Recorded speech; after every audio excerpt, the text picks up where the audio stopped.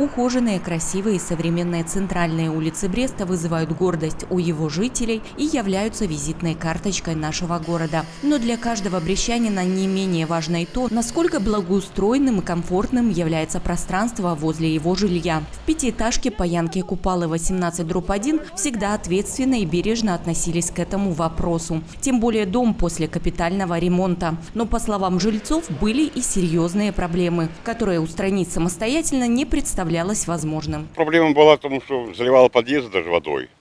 У нас, кстати, вот. Прямо в подвал вода шла. Все было разбито здесь. Обращались давно уже в исполком.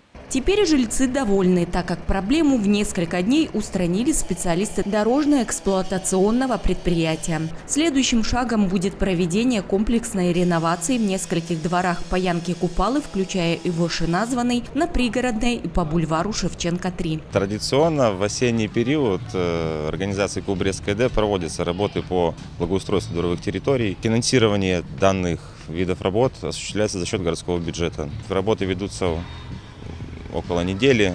Я думаю, что за следующую неделю мы должны закончить здесь работу.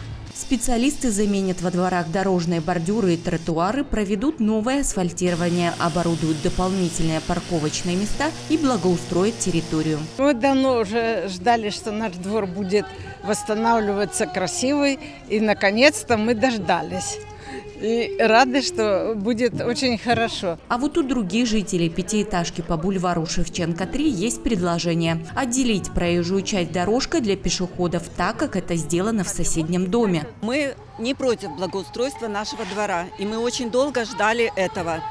Наконец дождались. Но что мы видим?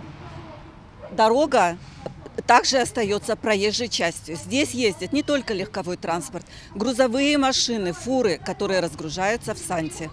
Пешеходной части практически нет. Где она находится? Она находится под э, крышей дома. Крыша дома скатная.